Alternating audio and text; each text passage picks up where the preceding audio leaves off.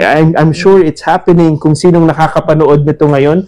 Either meron silang kilala or nangyari sa kanila of abuse that they don't feel comfortable talking about it. I don't know. I don't feel like this is the right place.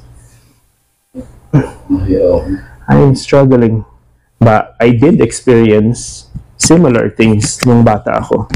Um, and I'm not gonna name names kung sino. It happens in showbiz. People have those desires and, you know, they take advantage because of their power. I guess the reason I do this, yung ginagawa namin ngayon sa Parola, is because, you know, I did have a history of abuse.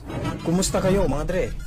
Welcome sa Rai TV. Isang revelasyon ang matutunghayan nyo ngayon mga dre tungkol sa tunay na buhay ng isang batang aktor na sumikat noong dekada 90 na si Jonel Hernando. Siya ay mas kilala sa pangalang Sambag mula sa pelikulang Magic Temple. Marami sa inyo ang nag-request na siya ay aking kapanayamin ngunit sa totoo lang ay isa ako sa kanyang mga tagahanga kaya ako ay lubos na nagpapasalamat dahil kami ay pinagbigyan ni Ginoong Jonel na makakwentuhan upang malaman kung kumusta na siya at ano na nga ba ang kanyang buhay ngayon.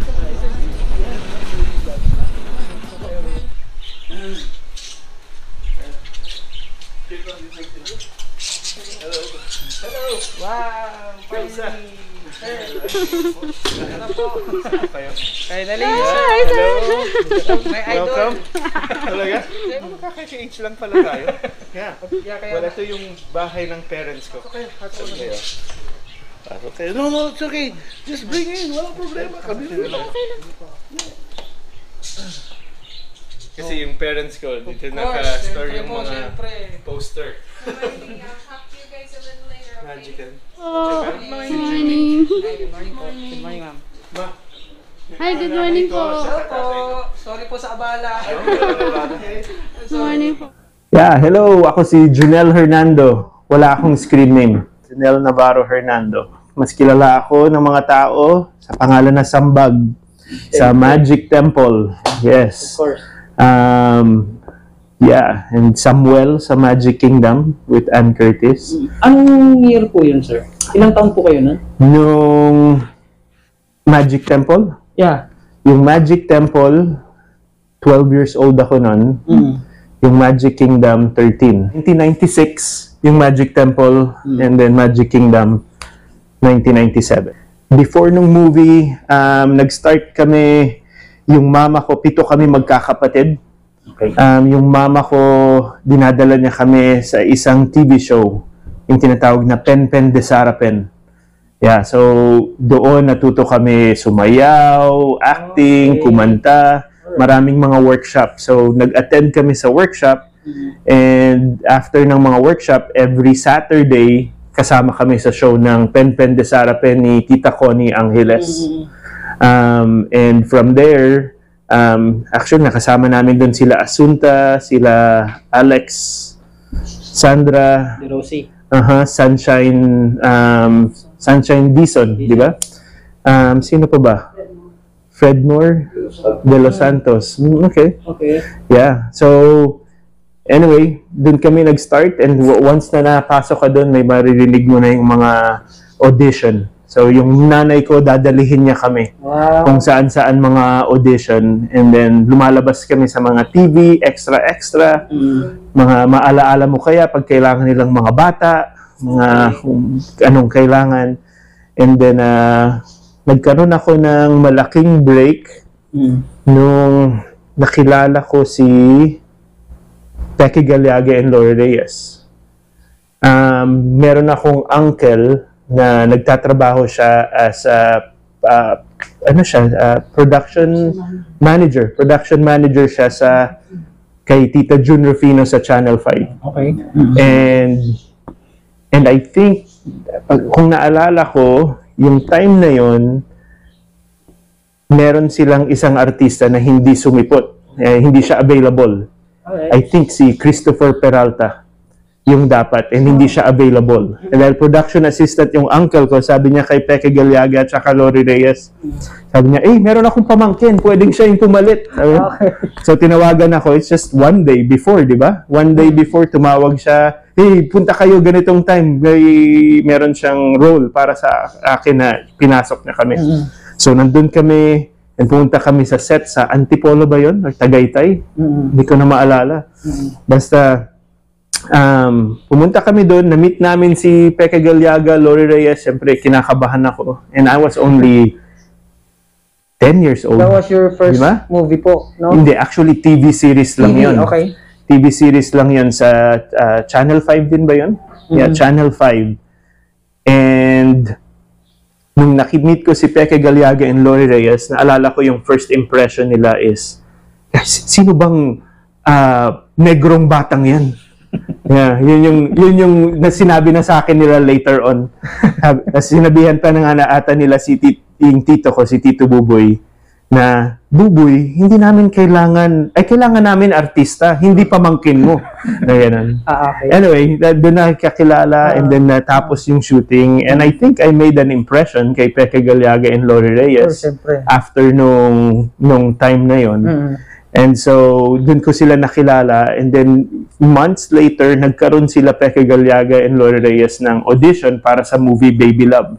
Ah. At yun yung first movie na naging Ah, part ako. Nung pumunta ako doon sa audition, um, humarap ako, sa- sabi ni Peke Galiaga sa akin, oh, for Junel, I don't need an audition.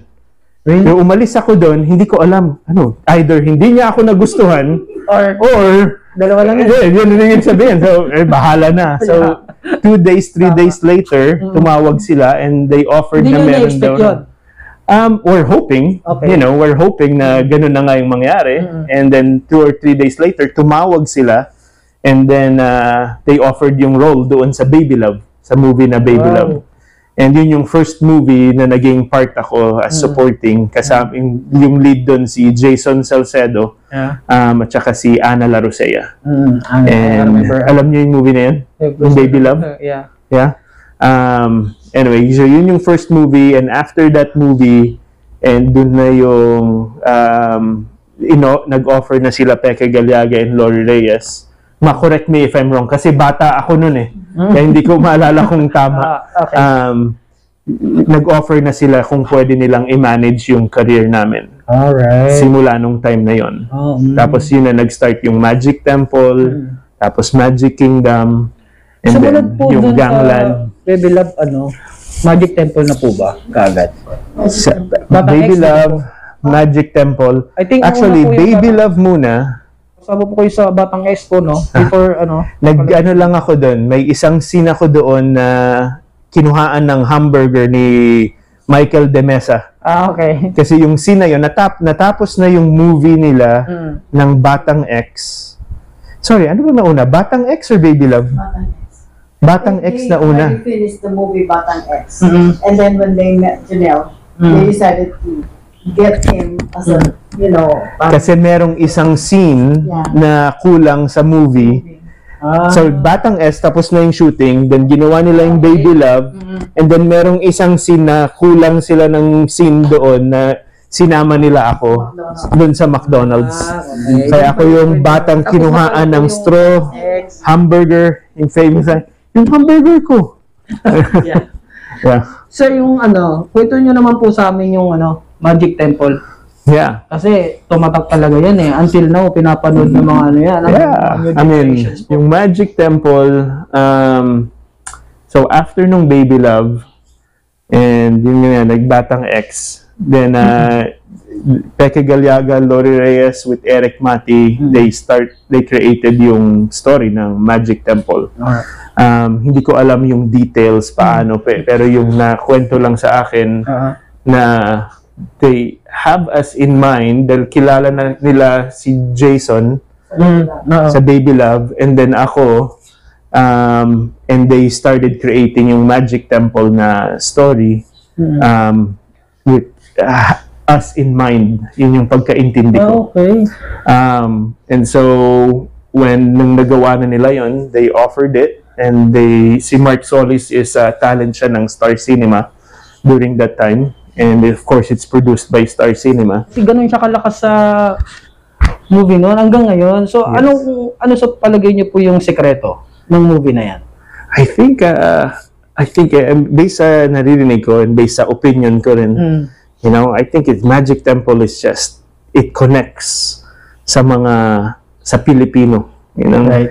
And uh, and yung yung story and yung characters is really relatable sa maraming mga Pilipino. Um, and, you know, nung time na yon sino ba kami? Sino ba si Junel Hernando? It doesn't matter kung sino yung artista, but it ma- what matters is you connect sa story ng movie. Hindi lang, hindi ka manonood ng pelikula dahil sikat si ganito, sikat si ganyan. Yeah, yeah. You really went there to Ah. be really connected sa movie. Tama. And when that com- connection happens, and I think yun yung magic na nararamdaman ng mga tao. Oo nga. And of course, Peke Galiaga, Lori Reyes, and Mhm. Eric Mati, they're just amazing uh, storytellers. Yeah. And uh, they did a, a great job. Um, and and uh, you know, it's such a privilege para sa akin to be part ng Yeah. movie na yun. And and for us, i- i- hindi siya parang trabaho eh. It's just like we're just kids Yeah, just and they really helped us to be ourselves Mm. nung time na yon. Kung sino si Sambag, Yeah. it's just that's just how I do it, you know. I mean, with the guidance and they they helped us to be really comfortable sa harap ng camera. Correct. And so kaya maraming nagsasabi na parang yeah, they just it's sobrang natural yung mga hindi sila yung pa eme-eme, pa cute or ganon. Hindi OA. Yeah, parang yun yung naririnig ko. Um, and I just think it's just because we were just authentic na, you know, we're just having fun. Opo. And then kung may problema, we're just, you know, having, we deal with the situation. And it was fun. I mean, bata kayo and you make this film, it's just, it's, it's Kung just bata really pa kayo, fun. sir, nabanggit niyo po, bata pa kayo. Kumusta yung samahan niyo nun, yung mga co-stars niyo nun sa ano, behind the scene? It was really fun. Um, Para lang kaming magkakapatid. Kasi yung shooting nun, it takes about two months, three months. Mm. yung shooting. And even before nung shooting na yun, maraming pre-production. And uh, si Rebecca Galiaga and Lord Reyes, they are very well known sa hindi sino-shortcut yung mga project. They really take time and the details and yung preparation is intense preparation. And uh, it's such a privilege to be part ng preparation na yon. And so you get to really comfortable sa mga co-stars mo, may ginagawang mga workshops before mag-start yung film para you break yung mga mga um, awkwardness and uh, mas maging komportable ka sa lahat ng magiging katrabaho mo. Yeah. Okay. After po nito, sir, nagkaroon ng sequel, no? So yung sumunod ng Magic Temple is yung Magic Kingdom. Yeah. And with Magic Kingdom, um, hindi ko alam kung ano lahat ng details pero it was produced by Viva. Hindi na Star Cinema. Ah, okay. Oo, Ah, okay. kaya yun din yung isang reason kung bakit si Sambag naging Samuel. Mm. Si Omar naging Oman. Si Jubal naging Jobert. Um, I think it has to do with legal. I, I don't think we could officially claim na part 2 yung Magic Kingdom. Pero assuming kung fan ka ng storyline and all that and alam mo si Peke Galiaga and Loy Reyes yung nag-produce and si Jun Urbano, siya pa rin yung Sifu at saka Amain sa Magic Kingdom, you know, you could get it na parang continuation. Tama. Pero technically, it's produced by Star Cinema and and yung Magic Kingdom is with uh, Viva. Alright. And yun yung first movie ni Ann Curtis. Yeah. First movie niya po yun? Yung ni Ann Curtis, yeah. Ah, Yun yung really? pinaka first. Galiaga already had these characters. And then nung nag-audition sila in place of Ana Lorcia. Ah, okay. So, they picked Anne, Anne. Anne Curtis. Yeah, because Mark Solicit with Star Cinema, kaya hindi siya na nahirapan siyang umalis sa Star Cinema to take that role. And and I think Ana Larosea was also with Star Cinema, na contract sila doon. Ah, kaya Kaya nahirapan silang um, Kasi may marami Mhm. sa si Ana. Si Ana lang. Yeah. And plus, I think yung kay Anna, it's a different character. It's a prinsesa. Mm. You know, it, so it, it won't make sense. I think mostly si Mark yung um, yung isa, which is pinalitan ni Janos. So si Janos naman yung kasama namin um, sa Magic Kingdom. Ano, kumusta po yung pagkakaibigan niyo nito? Hanggang ngayon po ba, nagkikita-kita pa rin po ba? Yeah, si Mark, I mean, uh, message kami minsan pag nakikita ko, connected kami. Mm. Si Jason, which is pangalan niya Gino, Gino sa uh, Zipa, Sipagan, Mm. um, nasa California na siya. Ah. Yeah, kaya pag bumibisita siya dito, papaalam niya sa amin, usually nag-get together kami Ah. para lang para kaming magkakapatid eh. Mm. I mean, yeah, lalo na kami ni ni Jason. I mean, Mm. karamihan ng movies namin magkasama kami Mm. madalas dahil kami yung um, nag-manage sa amin si Peke Galiaga Mm. at si Lori Reyes. Okay, ito sir. Ah, marami kasing nag-aabang sa sa palagay niyo pa magkakaroon pa ng another ano na to, sequel nito. Magic Temple, Yeah. sana. Magic Kingdom, sana. Sana. Hindi ko alam. Sana. ma- marami rin nagtatanong sa akin, kailan ba, kailan ba? I mean, wala akong power. Hindi ako producer ng movie. At Mm. saka I don't have rights ng Magic Temple, Mm. Magic Kingdom. Mm. I'm also hoping, Mm. you know, marami nagsasabi na sana kayo pa rin yung gaganap, na sana hindi i-remake, na hindi bago, you know, I, I hope that too. You know, yun din ang hino-hope ko. Pero sa ngayon, um, wala pang naman nag-reach out sa akin about doon. Maraming rumors Pero, about ah, na mag-start. And I, I Mm. and I heard it diretso sa mga people sa ABS that they were planning. Talaga? Pero dahil nga sa pandemic and Ah, all that right. nangyari, maraming delay. And yung latest si Direct Nick, di ba? Yung mm. isang in- tinitingnan nila na magpo-produce. Wala akong update kung yun nga talaga yung nangyayari. Um, I hope so. Kasi fan din ako ng Magic Temple. Makasali man ako or hindi, I would love to see it na nga eh. continue. Mm. You know? I mean, hope ko na, you know, they'll do it parang, Mm. you know, like Star Wars, you know, Ah, yeah. years later, nandyan pa rin, Mm. pero na-preserve yung original story. At least yun yung personal hope ko Matuloy. para may kun- iba na yung story pero nandyan pa rin intact pa rin yung original malaki story. yung malaki yung paniniwala ko sir na pag lumabas yan sigurado boom yan promise lalo na sa mga Yeah. uh, age Yeah, I hope so. And kasi you know, it's it's a iconic movie. Um, and you know, baka hindi ko alam, baka yung Magic Kingdom Viva, hopefully dahil nandyan si Anne, maybe unahan sila ng Viva, hindi ko alam. Oo nga, no? Pwede rin na maging sequel ng Magic Kingdom instead na Magic Temple. And I don't know, we'll see kung Sir, anong ano mangyari. po yung movie nyo nga po pala with ano Ah, I remember Sunshine Cruise Oh, yeah. So, yun yung isang movie, mga ano mo dun, sir, 16 ah. na ako nun. yun yung movie na sa kabit ni Mrs. Montero. mm. Yeah. So, yun yung isa sa mga last movie na ginawa ko bago ako nag-migrate sa US. Um, si Derek Peggy ng mga? 16. Yeah, Peke Galiaga. Actually, I miss it then. Mm. And so, that's why every time na may nakakita ako na like katulad mo, you know, Mm. na nakilala, it makes me happy. You know, dahil Lalo natutuwa, you know, uh, and, and that's what we need. We need joy, we need happiness. Mm. So kahit sa simpleng bagay, you know, masaya yung tao, it, it's a privilege, Mm. you know, na maging part. Kahapon nasa airport kami, galing kaming Brunei, Mm. And may isang Pilipina doon na nagpa-picture. Sabi, Sir Junel, pero wait, oh yes, I would love to. You know, it makes it, uh, you know, meron talagang fan ng ng movie na talagang alam nila. Mm. Kaya- Maski ako nagugulat ako eh. Dahil umalis kami, 16 years old ako nung umalis ako ng Pilipinas. Alright, oo. Nag-migrate kami sa US. Mm.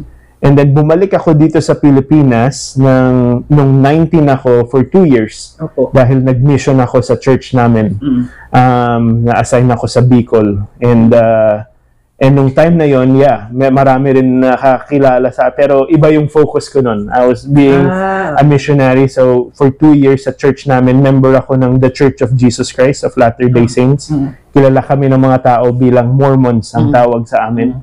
So, nag-serve ako ng mission. Um, na na-assign ako sa doon sa Bicol region. Mm. Um, kilala niyo si Eruption, di ba? Of course. Yeah, magkasabay kami noon. Nasa mission kami. Magkaka-mission kami noon. Hindi pa siya artista noon. yeah. Pero magkasama kami doon. And then after nung two years, bumalik ako sa Utah. Mm. And then bumalik ako sa Utah, doon ko na nakilala si Julie, yung asawa ko. Okay. Yeah. Siya mo pakilala, Julie? Sige. Sige po. Para makita. para makita nyo yung prinsesa ko ngayon. Of course. Yeah. Siyempre. Ito si Ju, um, asawa ko, at ah, meron kaming apat na anak ngayon. So Junelle had invited some friends to go country dancing, and those friends invited me, knowing that I knew how to country dance. Mhm. And uh, I was shocked when I went there and saw Junelle in his hip hop clothes, and he was he was definitely out of the norm. Um, but he was a really good country dancer, so he caught my eye. Yeah. Meron kaming apat na anak ngayon.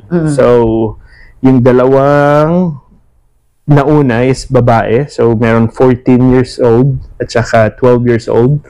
Si Kamiley and Adeline. And then yung dalawang bunso is lalaki. Is uh, okay. 10 years old tsaka 7 years old. Si Jameson tsaka si Landon. Mhm. Kumusta si Sambag ngayon? Masaya ba si Sambag? Masaya ba? Am I happy? Sometimes. Sometimes I'm ornery. um, no, I'm really happy. Um, I love my life ngayon. I'm grateful kay Julie um, and and the family. I love my kids. Of course, you know, uh, it's it's the best. It's the real source of joy. Mm. Is family, and and if there's one thing you know I would promote is strengthening families is one of the mm. pinaka source ng joy sa buhay natin dito sa mundo. Mm. Um, and so we focus on that and I don't know, are you happy? yes, I am. Why are you happy? Um, because I have the rock as my foundation. Ano pinagkakabalaan ngayon ni Sir Junel? Um, so sa ngayon, bumalik kami dito sa Pil- Pilipinas five years ago. Right? It's been five years. Um, and we started yung organization um, at sa, sa US, tinatawag uh, Lighthouse Sanctuary. Okay. And dito sa Pilipinas is Parola Santuario. Um, nag-start yung Lighthouse Sanctuary. Mostly, it's really an answer sa prayers namin.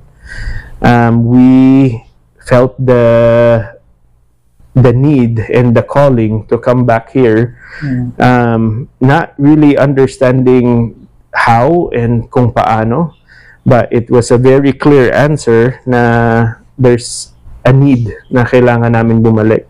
So we started Lighthouse Sanctuary. We were inspired by isang organization um, tinatawag na OUR, Operation Underground Railroad sa Utah ito. And what they do is they rescue kids from trafficking.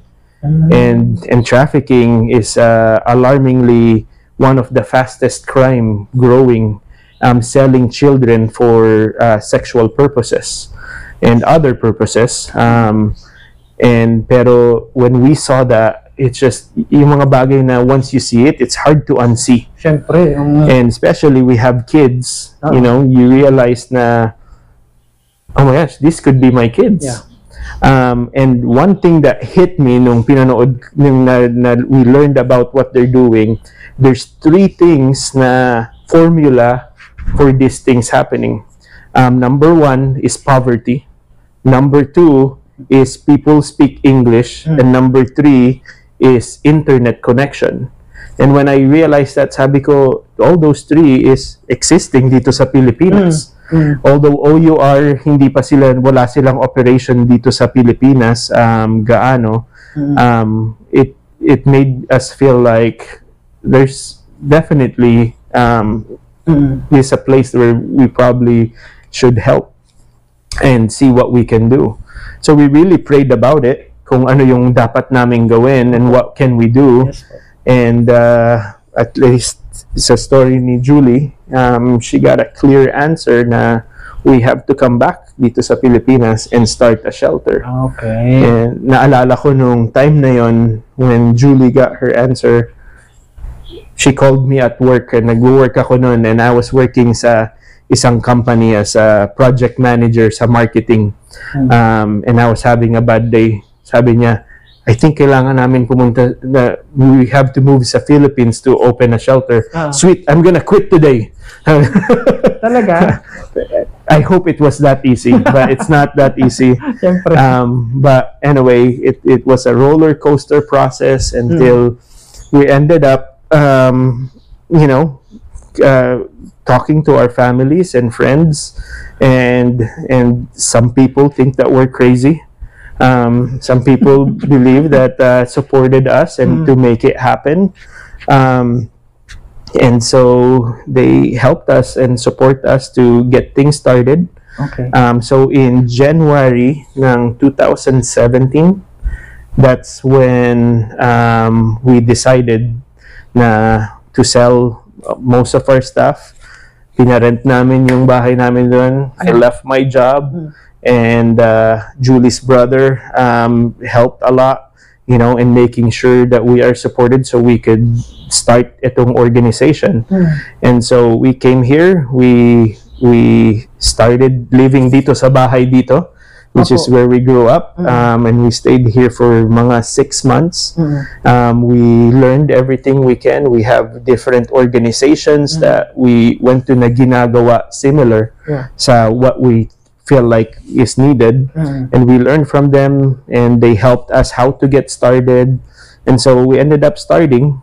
Um, and uh, one clear answer that came to us is to go sa Ilocos Norte Okay. um, which is yung tatay ko is taga Lawag, Ilocos Norte and so meron akong roots doon. Um, ang nanay ko taga Bicol sa Legazpi. So I'm uh, Bilocano yung tawag nila. um, but anyway, we moved sa Ilocos. We started yung shelter. Um, we are known dito sa Pilipinas as Parola Santuario. Um, and we started um, setting up as a residential shelter. And so it took us about one year to get started. And since the first referral, and so we work closely with DSWD. Um, so we are a registered organization with uh, Region 1 um, uh, to operate um, as a residential shelter. And our focus is mostly um, kids who has uh, have sexual abuse and uh, trafficking um, cases na kailangan ng lugar for a safe place and for healing from abuse. Uh, and it's it's heartbreaking dahil you know these are topics na mahirap pag-usapan. And it's topics na we don't feel comfortable talking about it because it's a hard topic and it's easier to not see it. Pero it's hard dahil we try to bring it to light. And I really believe na the only way to fight darkness is to bring light to it. And I feel like that's what we're doing. And with your help and these followers that you have, you know, it's happening here. You know, I'm, I'm sure it's happening kung sinong nakakapanood nito ngayon. Either meron silang kilala or nangyari sa kanila of abuse that they don't feel comfortable talking about it. And the more we hide it, the more na yung problem na ito will continue.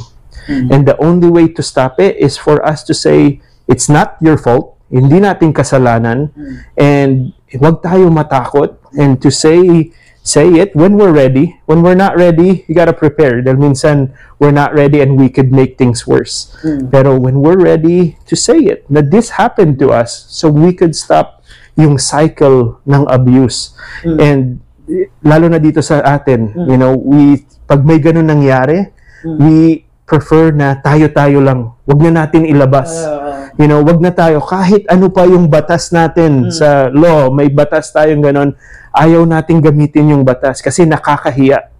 You know? Wag na natin ipalakihin yung issue tayo na lang. And what happens is the person doesn't get the healing na kailangan nila. The perpetrator, kung sinong gumawa ng mali, na ano lang, slap lang sa hand, and they continue to do, and the cycle continues to happen. So yun yung hinohope namin to change with our mission is to really empower kapag may nangyaring ganito, there are laws, there are batas. Maraming tao akala nila gagastos ka Ah. to file a Correct, case. sir. Totoo yan. That's not true. You know, there's a lot of resources to tulungan ng government, pero kay, it takes courage. Yun yung mahirap. Yung lakas. That's why yung mga bata na ito who who fight for their case, they are really my hero. You know, Eh, they, we talk about Sambag as a hero, but the real hero is courage. You know, yun yung kailangan. And to file a case to somebody na powerful, Yeah. yun yung talagang um, it takes courage to do that and that's why you know since we started we work with 85 kids Mm. and mostly in Ilocos Norte and uh, alam ko there's other places na nangyayari na ganito and how Over much the country yan, sir. Mhm. Oh yeah, for sure. And hindi lang dito sa Pilipinas, all over the world, especially pandemic has not been good sa cases. Mas nag-increase yung cases. Maraming mga bata, they were stuck sa bahay nila with their perpetrator na hindi sila pwedeng umalis. Ganda, no? And that's why you see maraming mental health issues ngayon, maraming um, suicide happening. They don't know how to deal with it. Mm. Ang encourage ko, if somebody's listening, you know, and this is happening to you, talk to somebody you trust, Mm. you know, and, you know, these things are happening. Use names, but then talk about the concern inside the kids.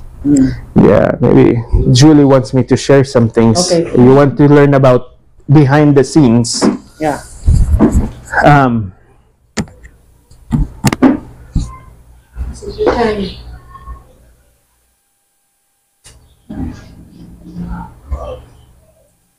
I think the question is, why did you start the Lighthouse? Why did you care enough?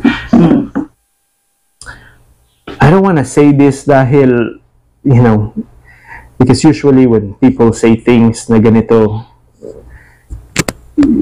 they feel like, uh, yeah, gusto mo lang sumikat ulit or gumanon. Uh, that's not my intention. Um, and I don't know. I don't feel like this is the right place. I am struggling. Um, but I guess I can talk about the industry and and and the sad reality sa industry and especially sa culture natin um, where we are very celebrity oriented and we put yung mga celebrity really on a high pedestal. Um, and everybody wants to be artista. You know anyone would do anything para lang maging artista. And because we have a big population ng culture na ganun dito sa Pilipinas people who are in the industry uh, take advantage of those things. Um, and it's it's a sad reality na there are kids I mean sa ginagawa namin there are kids who gets abused all the time um, uh, and they don't talk about it. I mean, you see what happens at US. You know, that's a Hollywood industry. You know, with the Me Too movement. You know, you know, exposing yung mga ganon. Um, and we are so naive to think na hindi yun nangyayari dito sa Pilipinas. I mean, we hear stories, balita na ganon, and somebody lumabas ganon, anong nangyayari? Babalik ka rin, ay gusto lang yan sumikat ulit and you know, naninira lang yan dahil laos na siya. You know, something like that.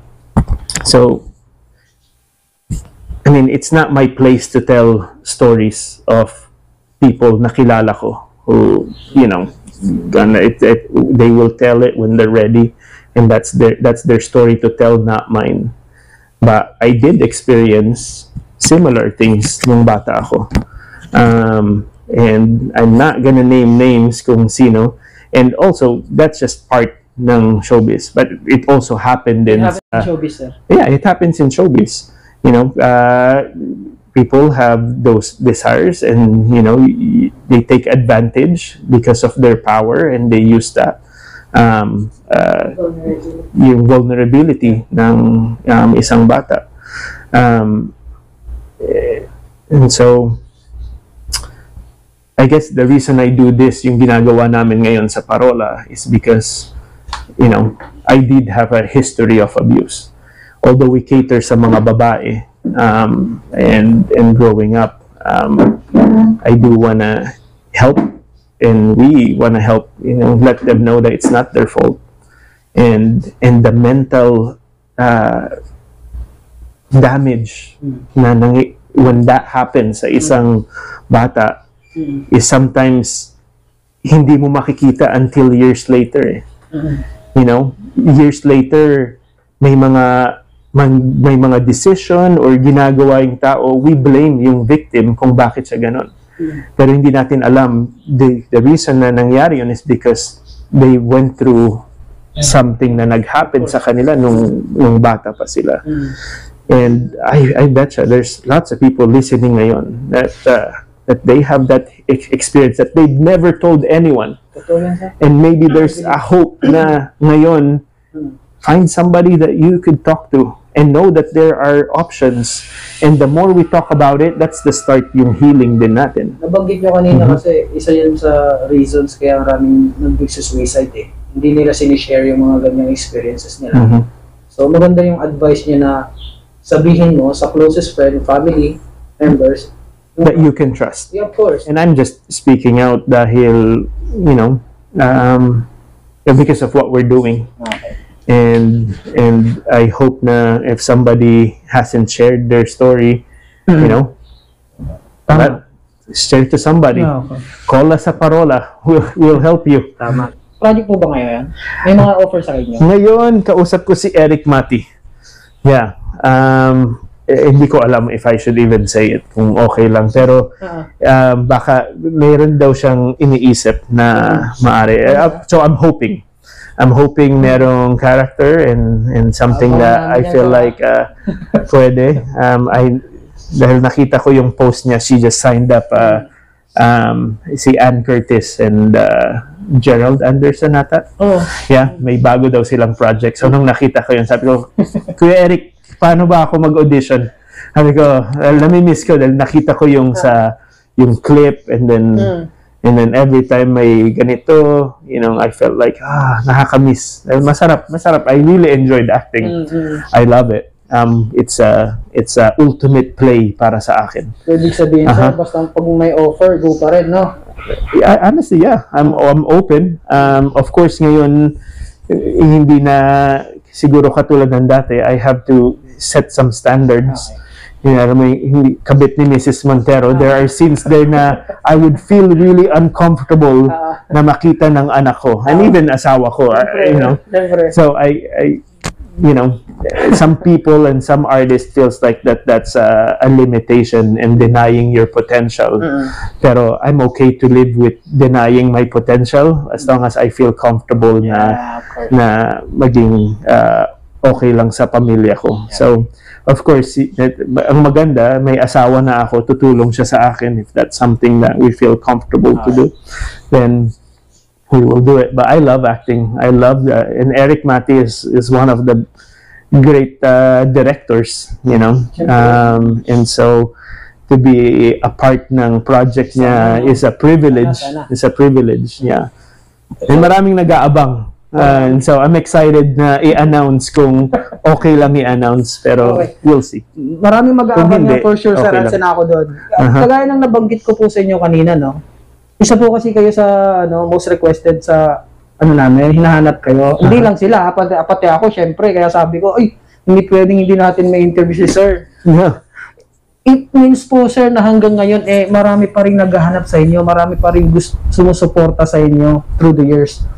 Uh, this is your time po para pasalamatan yung mga fans na nandyan pa rin. Absolutely. I love mga followers, you know. Um, yeah, sa face, usually active lang ako. Meron akong page, yung Junel Hernando page. Um, so far, there's uh, 68,000 na nagfa-follow doon. Nakakagulat, nakakataba ng puso.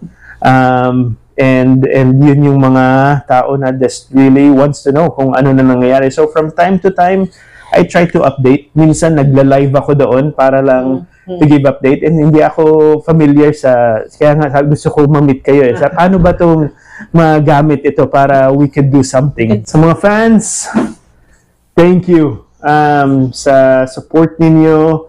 Alam ko naghihintay kayo kung kailan ako babalik ng showbiz.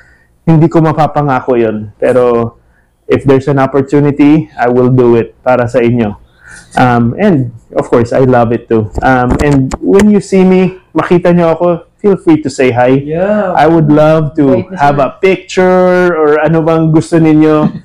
Um, hindi, hindi, hindi ano mang gusto ninyo. That- that's, Kailangan natin ng limit dyan.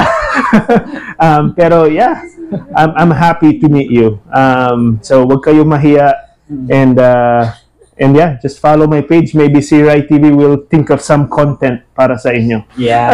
Siyempre, siyempre sir, ako, Yeah. willing akong tumulong para sa inyo. And yeah, thank you. Stay strong. Alam ko hindi madali ang buhay ngayon. Um, just keep going. Fans na nakikinig, follow, like, and subscribe. Dito. Sama, eh, saan ba? Dito? Dito. Diyan sa lahat. Yeah. Pindutin nyo lang. Subscribe, Right TV. They're doing great. I love supporting. Um, katulad sa kanila, you could feel their passion. And that's what it's all about. Just going for your passion, what you feel is doing. And it's inspiring na makita sila to do it. Right now, they have about 250 s- subscribers Like that, you know, by next month, six months, they'll have a million, you know, dahil sa tulong ninyo. You know, just follow them. And uh, I hope for the best para sa Right TV. Follow them. Thank you. Salamat po. Thank you. Thank you. Yun Salamat.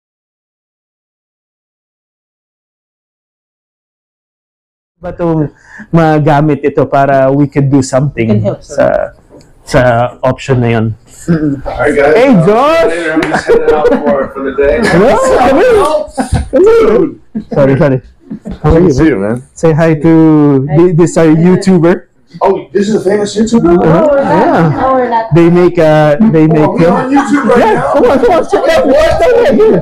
What's happening, bro? What's Wait, okay. Um, all right. All right, I'll sit down. Yeah, yeah. What's up, man? This All is right, our we friend. Interview? Yeah, this is Josh, our friend visiting from Utah. There you go. Bro. And What's going it's, on? it's your first time in Philippines, right? Yeah, it's just a few days. Just a few days. Awesome. What did I do? I just woke up. Dude, hi, hi, hi. I didn't say you up. Sorry. Nice to see you. Um, yeah. So, so what should I what should I expect here on the trip? Can you introduce us, sir, further? Oh, this is a friend of ours from Utah. Yeah. His name is Josh, and he's visiting. Yeah. And it's my brother. Come here, my brother. Introduce you to my brother. Come here. Yeah. So both of them got here in the Philippines, and uh, we do hang out a lot when we were in Utah. Oh yeah, all the time. Josh taught us how to play poker.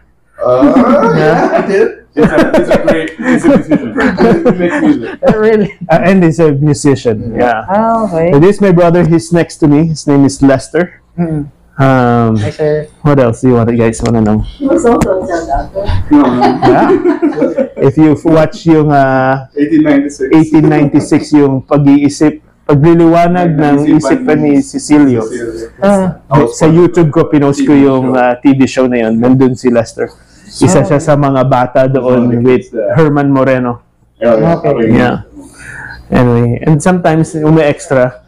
And sa Magic Temple, yung batang ako, Ano si Judoy? si Aldrin, yung sa umpisa, kapatid ko talaga yun. ah, talaga po? Ah, yeah. Yung batang sambag is Ah. Aldrin. And that's, uh, he's really the, We did music together. Yeah. Me and Aldrin. yeah, Aldrin. Actually, yeah, he was my it's a good friend. first collab, so that was what got me started. Dude, I didn't tell you I'm doing, I'm releasing an album.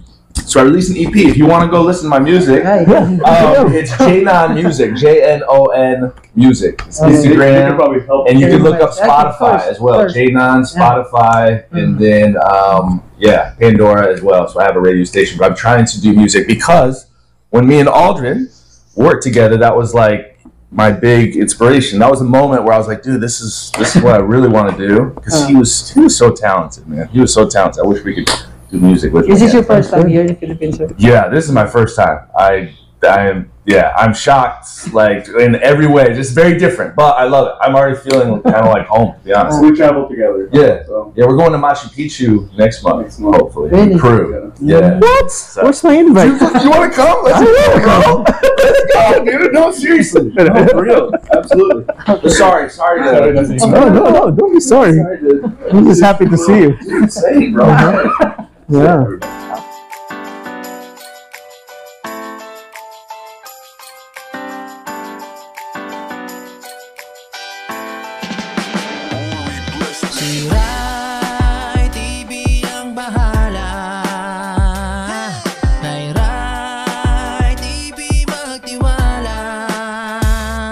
Lahat ng trivia niya'y pasok Hahanap-hanapin talaga Wala kang magawa Pumunta ka na sa channel niya Rai TV Rai TV Iba-iba ang mga kwentong Nandirito masasabi mong hindi imbento Siguradong mawiwili ka sa kada nood Ng aking palabas. Tanggalin natin kung ikaw man ay nababagot. Kesa magmukmok sa gilid Manood at makinig. Sama mo ang mga kakilala mo at tropa. Sama-samang panoorin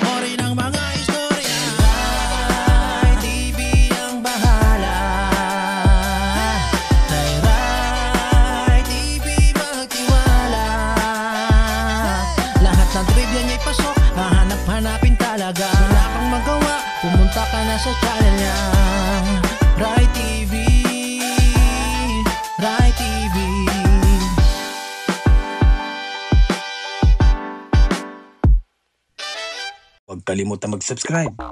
Paalam.